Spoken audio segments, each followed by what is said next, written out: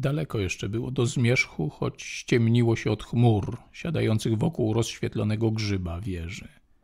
London krzątał się przy stole, a Gosse, paląc papierosa za papierosem ze słuchawkami na uszach, odbierał jałową gadaninę bazy Graala z gąsienicówkami wysłanymi po powrocie śmigłowców. Jednocześnie myślał o tym pilocie. Czy niezbyt skwapliwie, bez pytań, zmienił kurs, by u nich wylądować? 29-letni dowódca statku z patentem żeglugi kosmicznej wielkiego zasięgu musi być twardzielem i zapaleńcem, inaczej nie wybiłby się tak szybko. Niebezpieczeństwo kusiło jego zuchowatą młodość. Jeśli on sam był winien, to niedopatrzenia.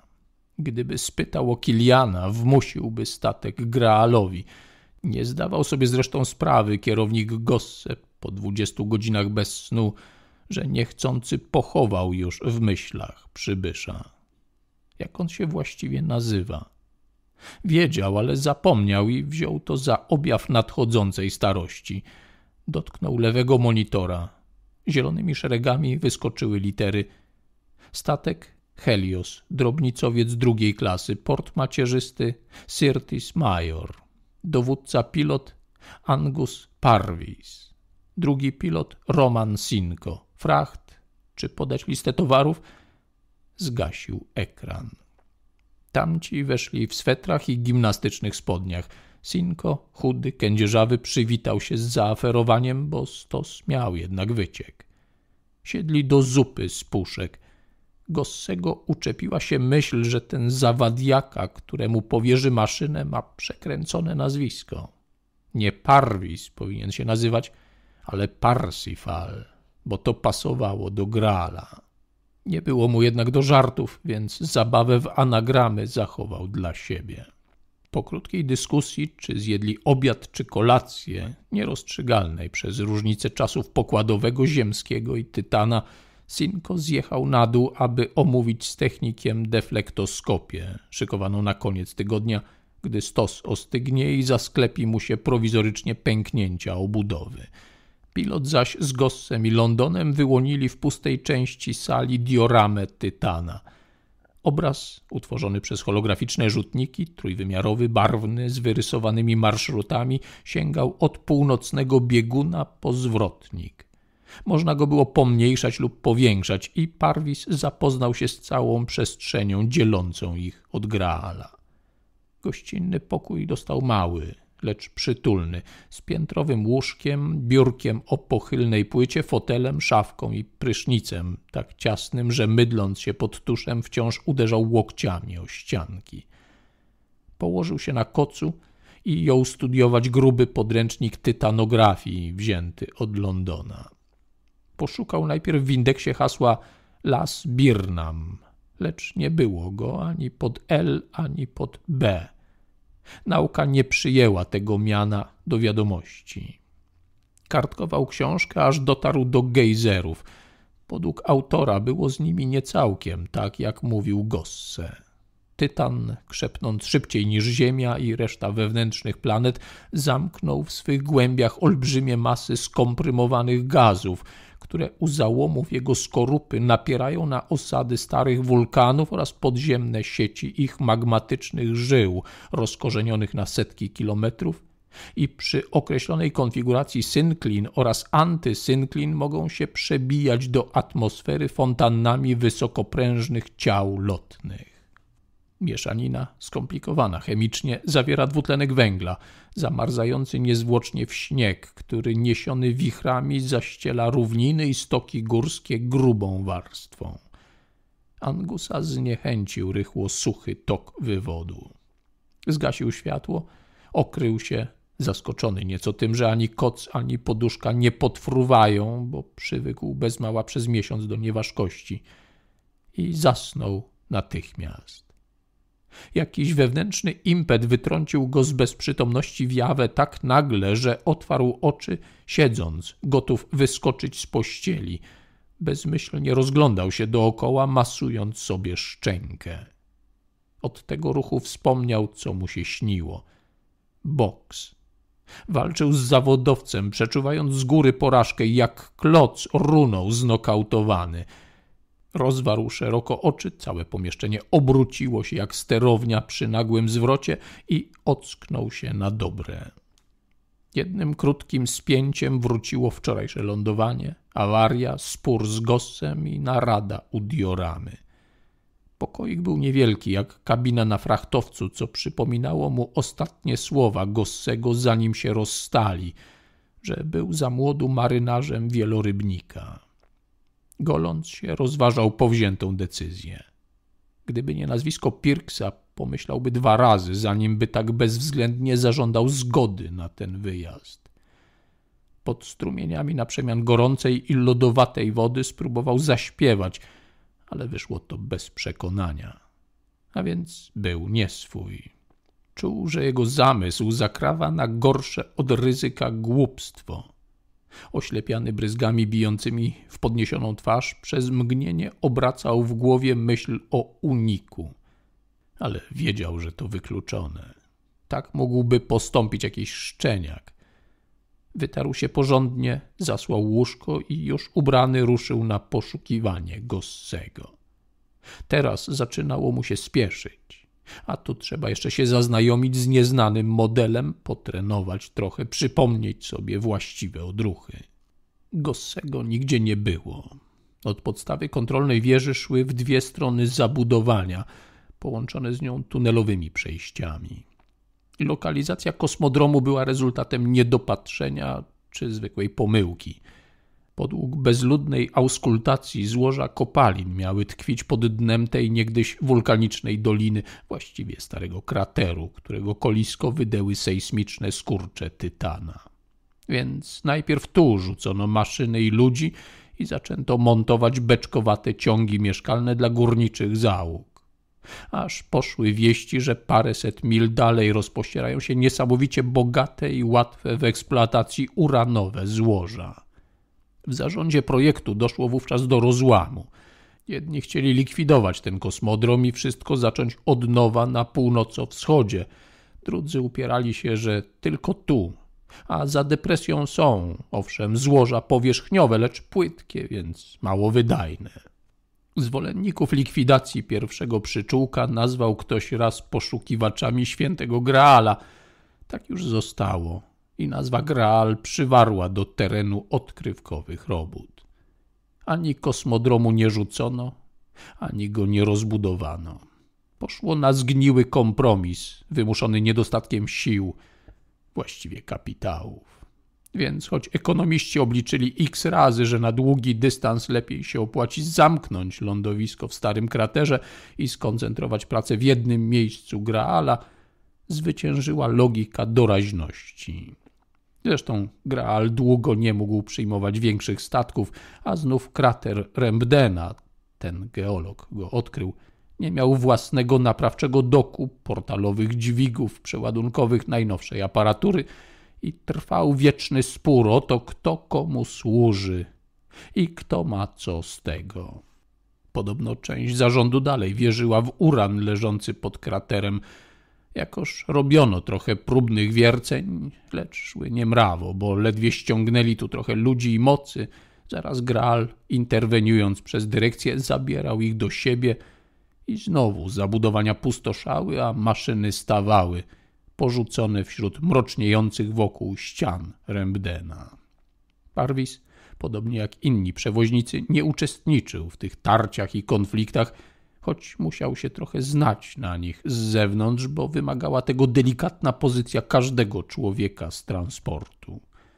Graal chciał wciąż wymową dokonanych faktów zlikwidować kosmodrom, zwłaszcza po rozbudowaniu własnego lądowiska, a Rembden mu w tym bruździł, Zresztą bruździł czy nie bruździł, okazał użyteczność, gdy znakomite betony Graala poczęły się zapadać. Na prywatny użytek uważał Parwis, że korzenie tego chronicznego rozdarcia są natury psychologicznej, a nie finansowej, bo powstały dwa lokalne i przez to już skłócone ze sobą patriotyzmy krateru Rembdena i Graala a reszta była poszukiwaniem argumentów na rzecz każdej strony. tego lepiej nie należało mówić nikomu z pracujących na Tytanie. Wnętrza ciągnące się pod wieżą kontroli przypominały opuszczone miasto podziemne i aż żal było patrzeć, ile tu się materiałów niepotrzebnie walało. Raz już wylądował w Rembdenie jako pomocnik nawigatora, ale tak było im wtedy spieszno, że nie zszedł nawet z pokładu przez cały czas postoju w ładowni, by nadzorować pracę wyładunku. A teraz patrzał na nierozpakowane, nawet nieodpieczętowane pojemniki z tym większym niesmakiem, że poznawał i te, które wtedy przywiózł. Poirytowany pustką zaczął pochukiwać jak w lesie, ale tylko echo zadudniło martwo w zamkniętych korytarzach składu. Pojechał windą na górę. Znalazł Londona w pomieszczeniu kontroli lotów, lecz i on nie wiedział, gdzie podziewa się Gosse. Żadne nowe komunikaty z Graala nie nadeszły. Monitory mrugały. W powietrzu unosił się zapach smażonego boczku. London robił na nim jajecznicę – skorupki rzucał do zlewu. Jaja tu macie? zdziwił się pilot. Żebyś wiedział. London był już z nim na ty. Jeden elektronik z wrzodem żołądka przywiózł kojec kur, pilnował diety, a jakże. Najpierw zaczęły się protesty, zaśmierdzą nam tu życie, co dasz kurom jeść. Ale zostawił parę z kogutem i teraz sobie nawet chwalimy. Świeże jaja, Łakoma rzecz w tych stronach. Siadaj, Gosse sam się znajdzie. Angus poczuł głód. Wpychając w usta nieestetycznie duże kawały jajecznicy, usprawiedliwiał się w duchu przed tym, co go czekało, trzeba się zaopatrzyć w kalorie. Zabrzęczał telefon. Gosse wzywał go do siebie. Podziękował więc Londonowi za wyszukany posiłek, dopił duszkiem kawę i zjechał piętro niżej. Kierownika zastał w korytarzu, już odzianego w kombinezon. Wybiła godzina. Angus skoczył do gościnnego po swój skafander. Przywdział go sprawnie, połączył zbiornik tlenu z wężem skafandra, ale nie odkręcił zaworu i nie włożył hełmu, niepewny czy od razu mają wyjść z hermetycznych pomieszczeń. Zjechali do podziemia drugą windą, towarową. Tam też był skład zawalony pojemnikami podobnymi do armatnich jaszczów, bo sterczały z nich po pięć tlenowe butle, jak granaty wielkiego kalibru. Skład był rozległy, a tak zapchany, że szło się między ścianami ze skrzyń pochlastanych różnojęzycznymi napisami. Ładunki od wytwórców ze wszystkich ziemskich kontynentów. Pilot czekał dobrą chwilę na Gossego, który poszedł się przebrać i nie poznał go od razu w ciężkim, roboczym skafandrze Montera powalanym smarami z noktowizorem nasuniętym na szkło hełmu. Przez komorę ciśnieniową wyszli na zewnątrz. Spód budowli wisiał nad nimi, bo całość przypominała wyolbrzymiony grzyb z oszklonym kapeluszem. Na górze krzątał się już London, przesłaniając cieniem zielone jarzenie monitorów. Obeszli podstawę wieży, krągłą, bezokienną, niczym latarnia morska wystawiona na przybój fal i Gosse rozsunął wrota garażu z pofałdowanej blachy. Załopotały świetlówki. W pustym wnętrzu przed odsuniętym ku tylnej ścianie podnośnikiem stał łazik, podobny do dawnych księżycowych aut Amerykanów. Otwarte podwozie, ławeczki z oparciem dla nóg, nic poza ramą na kołach, kierownicą – i zamkniętą z tyłu baterią akumulatorów. Gosse wyjechał na nierówny szuter pokrywający przyziemie wieży i zatrzymał się, by pilot mógł wsiąść. Ruszyli przez rudą mgłę ku niewyraźnej niskiej budowli klocowatej z płaskim dachem. Daleko za grzbietami gór majaczyły mętne słupy światła, jak przeciwlotniczych reflektorów. Nie miały jednak z taką starocią nic wspólnego. Słońce Tytana, zwłaszcza w pochmurne dni, daje niewiele światła, więc podczas eksploatacji uranowych ród wprowadzono na stacjonarną orbitę nad Graalem ogromne zwierciadła lekkiej konstrukcji, zwane solektorami, żeby skupiały promienie słoneczne na kopalnianym terenie. Pożytek okazał się problematyczny. Saturn z księżycami tworzy fatalny dla obliczeń przestwór oddziaływania wielu mas. to też mimo wysiłków astroinżynierii słupy blasku uległy odchyleniom, często wędrując aż do krateru Rembdena. Odludkom tego miejsca sprawiały owe najścia słoneczne nie tylko ironiczną satysfakcję, gdyż nocą zwłaszcza cały kocioł krateru wyrwany z ciemności objawiał swój groźny, fascynujący urok. Gosse, wymijając łazikiem przeszkody, podobne do niekształtnych kuf walcowate bryły, czopy małych wulkanicznych ujść, też dostrzegł ową jasność, zimną jak zorza polarna i mruknął jakby do siebie. Idą ku nam. Nieźle. Za parę chwil będzie można rozejrzeć się jak w teatrze. I dodał już z jawną złośliwością: Dobry chłop, ten Marlin. Angus pojął drwinę, bo oświetlenie Rembdena równało się egipskim ciemnościom w Graalu, więc Marlin czy jego dyspozytor już ściągali obsługę selektorów z łóżek, żeby uruchomionymi silnikami skierowali zwierciadła kosmiczne gdzie należy. Ale dwa słupy światła zbliżały się coraz bardziej i w jednym łysnął już oblodzony wierzch wschodniej grani – Dodatkową uciechą rembdenowców była dziwna na Tytanie przejrzystość atmosfery w ich kraterze. Pozwalała tygodniami podziwiać na ugwieżdżonym firmamencie żółtą, płaskopierścienną tarczę Saturna. Choć pięć razy odleglejszy niż księżyc od Ziemi, zjawiał się wschodzący Saturn ogromem zaskakującym zawsze nowicjuszy. Bez lornety ujawniał wielobarwne smugi powierzchni i czarne krople cienia – rzucanego przez jego bliższe księżyce podczas zaćmień. Widowiska te umożliwiał borealny wicher pędzący gardzielą skał tak gwałtownie, że dawał fenowy efekt. Nigdzie indziej nie było też na Tytanie tak ciepło jak w Rembdenie. Może obsługa selektorów nie zdołała ich jeszcze opanować, a może nie było komu się do tego brać przez alarm. Dość, że struga słoneczna sunęła już dnem kotliny. Zrobiło się jasno jak w dzień. Łazik mógłby jechać bez reflektorów. Pilot widział betony szarzejące wokół jego Heliosa. Za ich płaszczyzną, tam dokąd zmierzali, wznosiły się, jak skamieniałe pnie niewiarygodnych drzew, korki wulkaniczne wysadzone kiedyś z sejsmicznych przestrzelin, skrzepłe od milionów lat.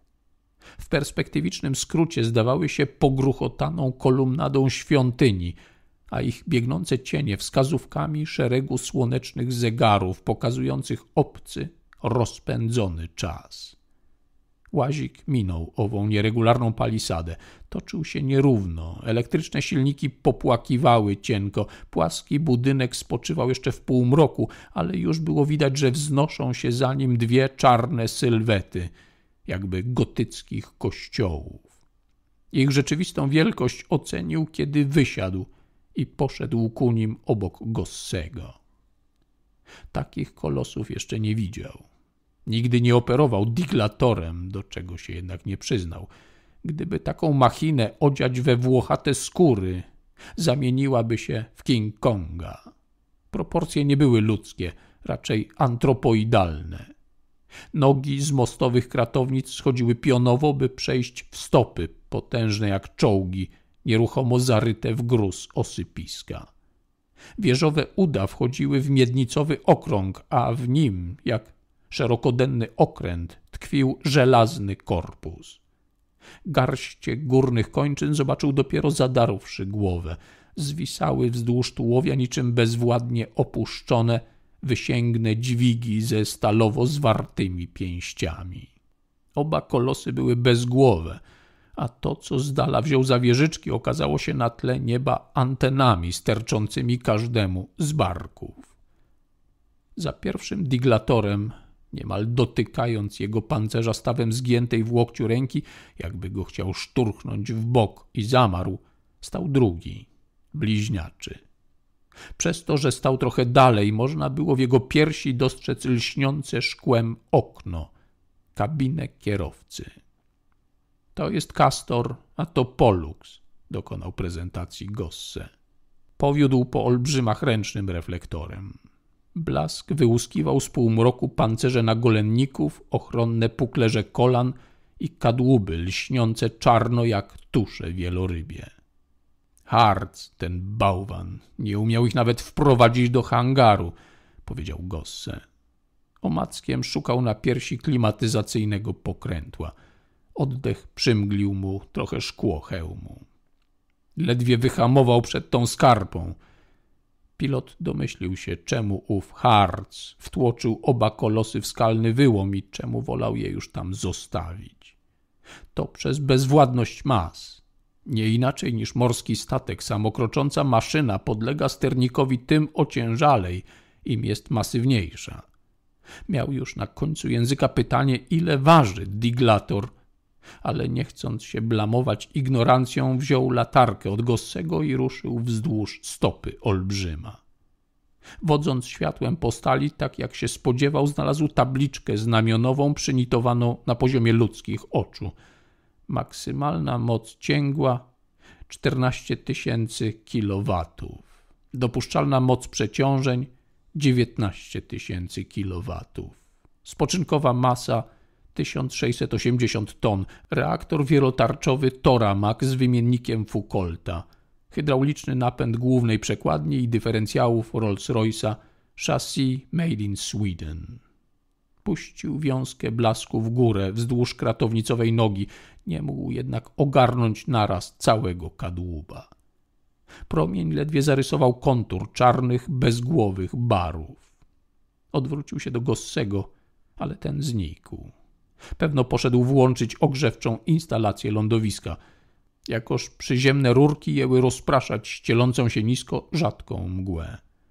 Błędny słup słonecznego selektora łaził po kotlinie niby pijany, wyrywając z mroków to kloce składów, to grzyb wieży kontroli z jego zieloną przepaską własnego światła, to dawał gasnące zaraz odblaski, trafiwszy na oblodzenia dalszych skał – jakby usiłował budzić martwy pejzaż, ożywiając go ruchem. Naraz zboczył, pędząc po rozległych betonach i przeskoczywszy przez grzyb kontroli palisadę magmowych pni, parterowy magazyn, trafił pilota, który przesłonił się rękawicą i prędko zadarł głowę w hełmie, ile mógł, by przy tej okazji ogarnąć oczami całego diglatora pokryty antykorozyjną czarną polewą, zalśnił nad nim jak dwunogi pancernik, co stanął dęba. Jakby pozował do zdjęcia w magnezjowym rozbłysku. Zahartowane płyty piersiowe, krągła osada bioder, filary i wały napędowe ud, ochronne puklerze kolanowych stawów, kratownice goleni błyszczały nieskazitelnie na znak, że nigdy dotąd nie pracował. Angus doznał radości i tremy. Przełknął przez ściśnięte gardło ślinę i już w oddalającym się świetle zaszedł olbrzyma od tyłu. Gdy zbliżył się do pięty, jej podobieństwo do ludzkiej stopy z żelaza stało się najpierw karykaturalne, a potem u wrytej w miał podeszwy znikło. Stał już jak pod fundamentem kranu portalowego, którego nic nie wyrwie z gruntu. Opancerzony obcas mógł służyć za podstawę prasy hydraulicznej. Skokowy staw ukazywał ściskające go sforżnie jak śruby okrętowe, a kolano, wypuklające się w pół nogi na wysokości pewno dwóch pięter, było istnym młynem. Garście olbrzyma, większe od koparkowych szczęk, zwisały nieruchomo zakrzepłe w postawie na baczność. Choć Gosse gdzieś przepadł, pilot nie zamierzał zwlekać.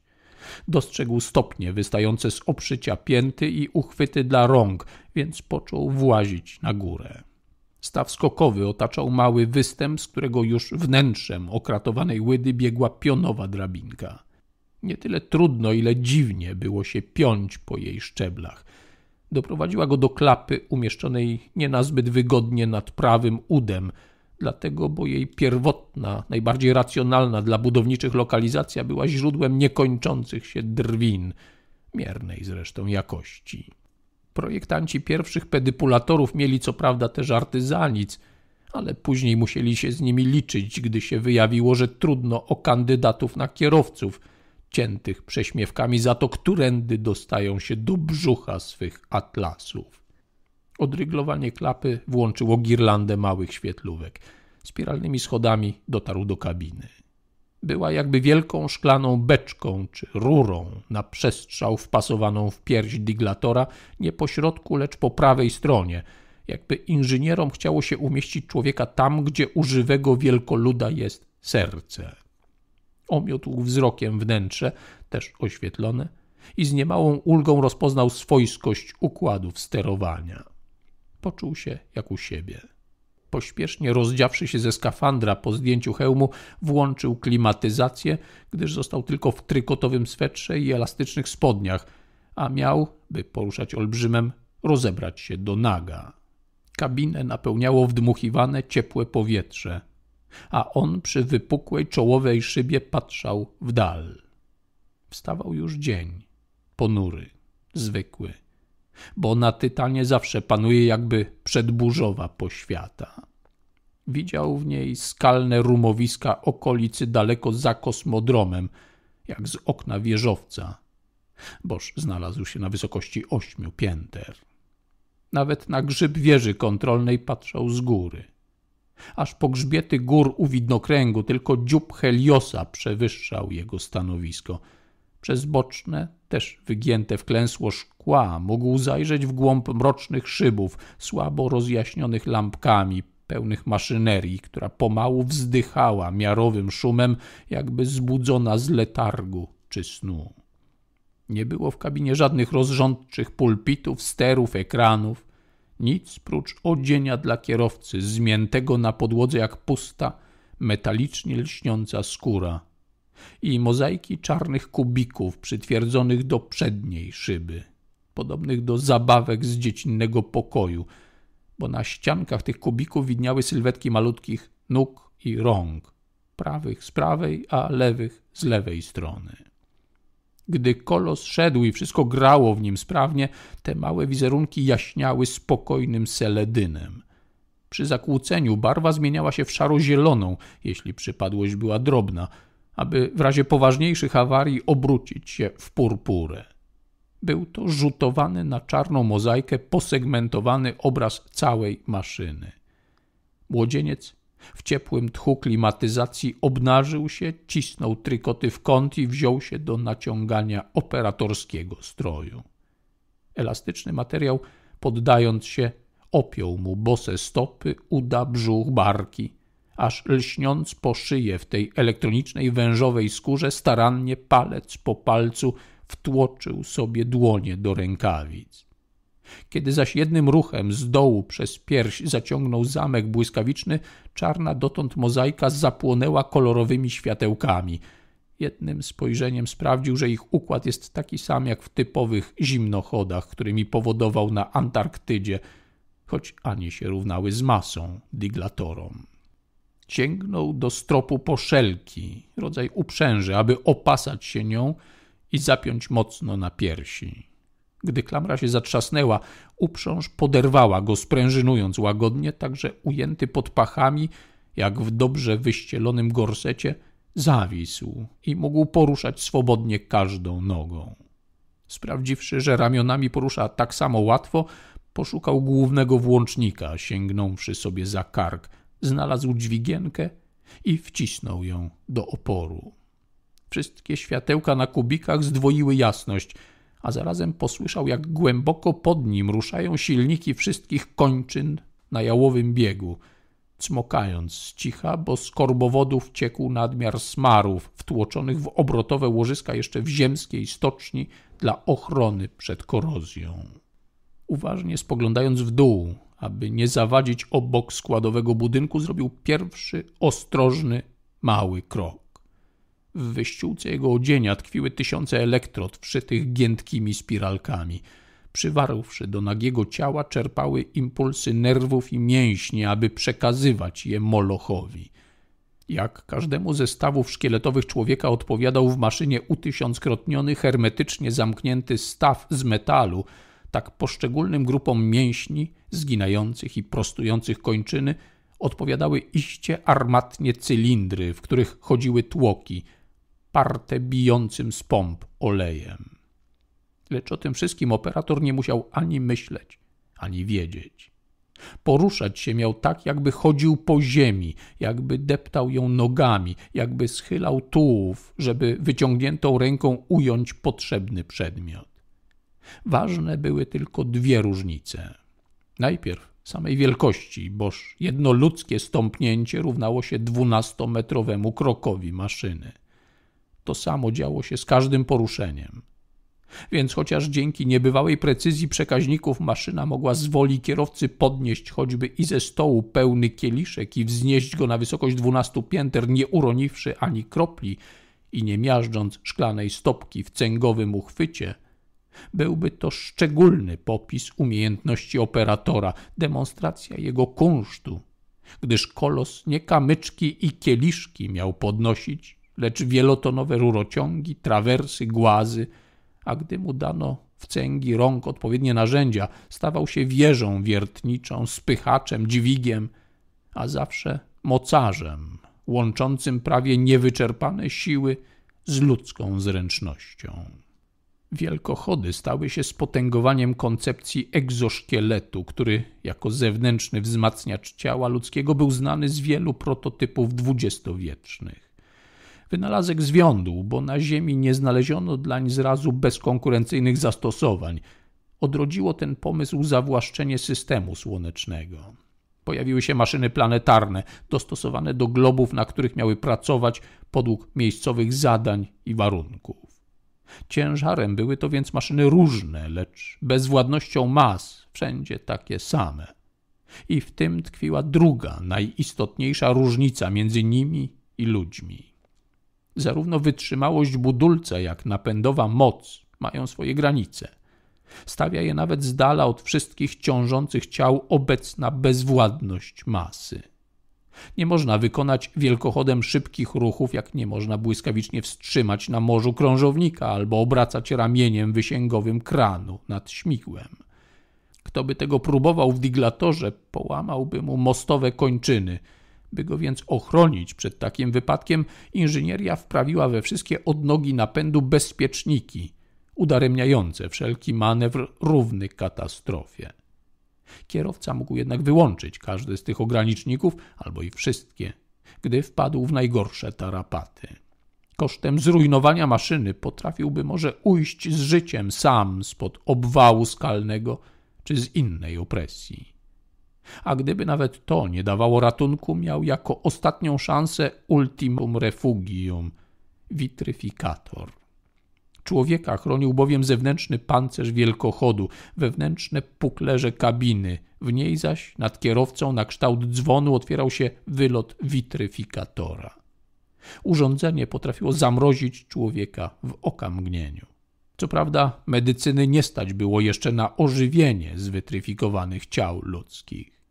Ofiary katastrof, przechowywane w pojemnikach z płynnym azotem, spoczywały, czekając niezmiennie nadejścia przyszłowiecznych kunsztów rezurekcyjnych. To odrzucenie lekarskich powinności w nieokreśloną przyszłość wyglądało mnóstwu ludzi na makabryczną dezercję, na obietnicę ratunku bez jakiejkolwiek gwarancji spełnienia. Był to jednak precedens, zarazem ostateczny w medycynie i graniczny, ale nie pierwszy. Wszak pierwsze transplantacje małpich serc śmiertelnie zagrożonym ludziom wywołały podobne reakcje oburzenia i zgrozy.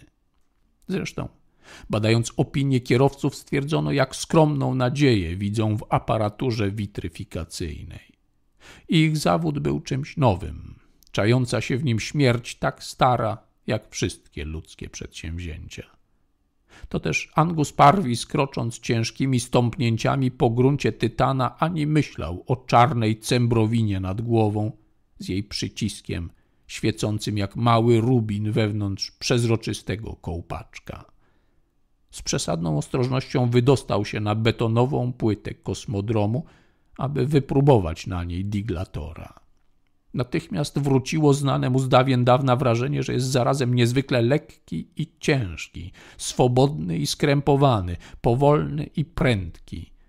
Jedynym przybliżeniem mogłyby być odczucia nurka, którego wypór wody pozbawia ciężaru ciała, lecz płynny ośrodek stawia mu opór tym większy, im szybciej chce się poruszać. Prototypy maszyn planetarnych szły zrazu po kilku godzinach pracy na złom, wyzbyte jeszcze ograniczników ruchliwości. Nowicjuszowi, co postąpił parę kroków wielkochodem, udziela się przeświadczenie, że sztuka jest dziecinnie łatwa i przez to, gdy zechce wykonać proste zadanie, od położyć szereg trawersów na murach budowanego domu, rozwali mur i pognie sztaby, nim dojdzie to jego świadomości. Ale i maszyna z zabezpieczeniami może być zdradliwa dla niewprawnego kierowcy. Odczytać liczby krańcowych obciążeń jest równie łatwo, jak zapoznać się z treścią podręcznika o jeździe na nartach, lecz nikt nie został mistrzem slalomu dzięki podobnej lekturze. Angus, oswojony już i to dobrze z tysięcznikami, poczuł przy niedużym z początku przyspieszeniu kroków, że podwładny mu olbrzym ma prawie dubeltową masę. Wisząc w oszklonej kabince jak pająk w dziwnej sieci, od razu powściągnął ruchy nóg, a nawet przystanął, żeby z rozmyślną powolnością wziąć się na miejscu do gimnastyki. Przestępował z nogi na nogę, pochylając tułów na boki i dopiero potem oprzedł kilka razy swoją rakietę. Serce biło mu mocniej niż zwykle, lecz wszystko szło bez błędów. Widział jałową, burą w niskich mgłach dolinę, dalekie rzędy świateł wyznaczających granice lądowiska, a pod wieżą kontroli maleńką postać Gossego, istną mrówkę w oddali. Otaczał go łagodny, niezbyt natarczywy szum, w którym jego uszy, wprawiając się z każdą chwilą lepiej w rozróżnianie odgłosów, poznawały basowe tło głównych silników, to rozpędzających się do stłumionego śpiewu, to mruczących jakby z łagodnym wyrzutem przy zbyt raptownym hamowaniu wyrzucanych w przód stutonowych nóg. Wychwytywał już churalny zew hydrauliki – bo olej parł tysięcznymi przewodami w cylindry, a tłoki miarowo podnosiły, zginały i stawiały każdą kończynę obutą w czołg na betonie. Aż wysłuchał delikatny przyśpiew żyroskopów, wspomagających go samoczynnie w utrzymaniu równowagi – gdy raz spróbował z rozmysłu wykonać ostrzejszy zakręt, masyw, w którym tkwił, okazał się nie dość zwrotny dla wydolności silników i choć posłusznie wybuchły całą mocą, olbrzym zachybotał się, choć nie wypadł mu z kontroli, bo momentalnie złagodził skręt, zwiększywszy jego promień. Zaczął się potem bawić podnoszeniem wielotonowych głazów za skrajem betonowanej płaszczyzny – i od tych brył w momencie nagryzania chwytnymi cęgami szły iskry w jazgotliwym chrobocie. Nie minęła godzina, a poczuł się już pewnym swego diglatora. Wrócił w znany mu stan, który doświadczeńsi nazywają wrośnięciem człowieka w wielkochód. Zatracał bowiem granice między sobą a machiną i jej ruchy stawały się już jego własnymi ruchami.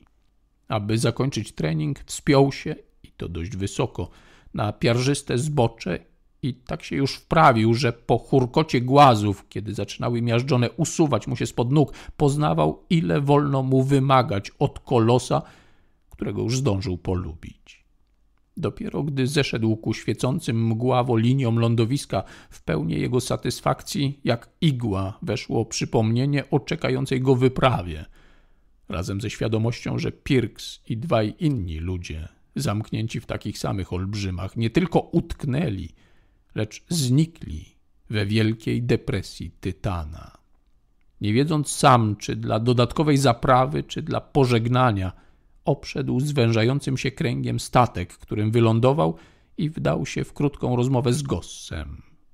Kierownik stał już obok Londona za szybami wieży. Widział ich Usłyszał, że nadal nic nie wiadomo o losie zaginionych i przy rozstaniu podniósł wysoko żelazną prawicę. Może komuś wydałby się ten gest patetyczny, czy nawet błazeński. Wolał go od wszelkich słów. Uczynił miarowy zwrot w tył, wrzucił na jedyny podstropowy monitor holograficzne zdjęcie terenu do przebycia, włączył wskaźnik azymutu razem z projekcją szlaku kierowanego na Graala – i ruszył dwunastometrowymi krokami w drogę.